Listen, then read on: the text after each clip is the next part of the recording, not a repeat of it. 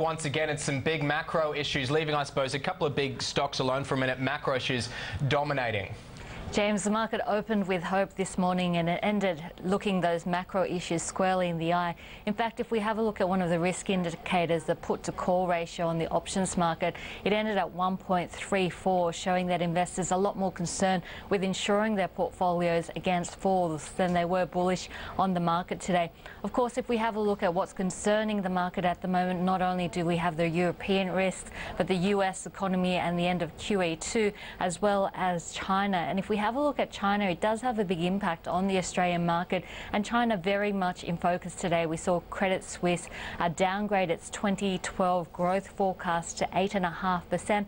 And an unusual thing about the Shibor, now the Shibor is the overnight rate in China, and we saw it spiking 297 basis points overnight. That's almost 3%. And what we're seeing kick into gear are the new reserve uh, ratio requirements. So in the short term, overnight, liquidity really drying up up as banks in China scramble to fulfill those new reserve requirement ratios. The Shanghai Composite down by about 1.2%. The big turnaround in the Australian market really driven by that material space. It started off flat, it managed to rise in the morning, and by the end of the session, it was one of the worst performing sectors on our market. We saw the material sector coming under pressure, the energy sector absolutely smashed down by 2.1%. Oil prices at four month lows, Caltex, Woodside all coming under pressure. So altogether, a pretty disappointing session for the Aussie share market. The last two hours we saw the euro losing 40 pips and the Australian market simply following suit. Sentiment further down the road and not that much further actually in terms of quantitative easing two when its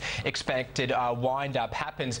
Do we expect that to become yet another headwind for global markets? James, there is a wall of worry at the moment. At the moment, the number one focus is the Greek situation, the European sovereign debt. But you're right, once we see, see a resolution to that, the next thing the market's going to be focusing on is the end of QE2, which comes next week. Next week is the 30th of June when the QE2 program ends. There will be a little bit of QE light and a bit of um, just, I guess, uh, cutting of the hedges and taking a few haircuts. If we have a look at QE Light, there are some operations scheduled for the 7th as well as the 11th of July for two and a half to three and a half billion dollars. But really what we're looking at is the end of QE2 and we've already seen Russia, China lightening their load in terms of US treasuries. In fact, in the last year, we've seen Russia selling out of US treasuries by about 30% of its holding and indicating that it is looking to sell more.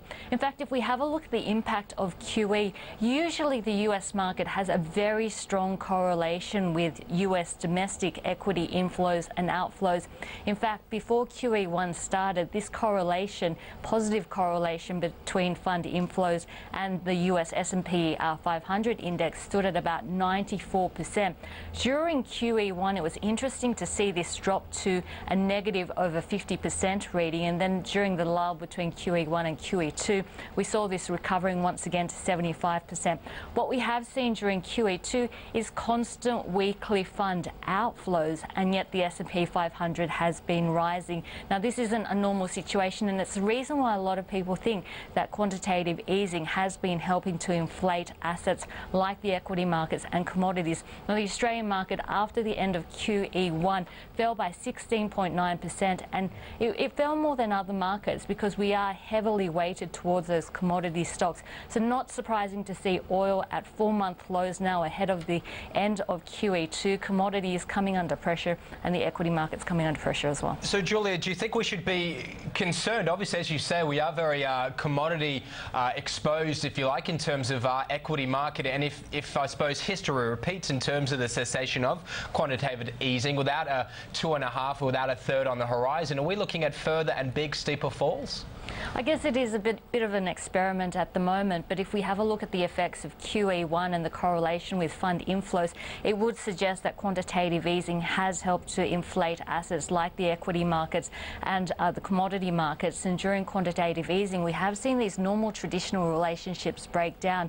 Usually, if we see fund inflows, that's a positive for the equity markets. We see a large amount of fund outflows, well, that's negative for equity markets. But during quantitative easing, what we have seen is massive fund outflows. Um, in fact, I think it's 325 a billion dollars worth of outflows that we've seen, and yet still we've seen the S&P 500 over the last couple of years managing a rise. So a lot of concern over the impact of the end of QE2 um, and the impact that's going to have across equities as well as commodities. But as Michael mentioned, you know, we see an easing commodity prices, oil prices.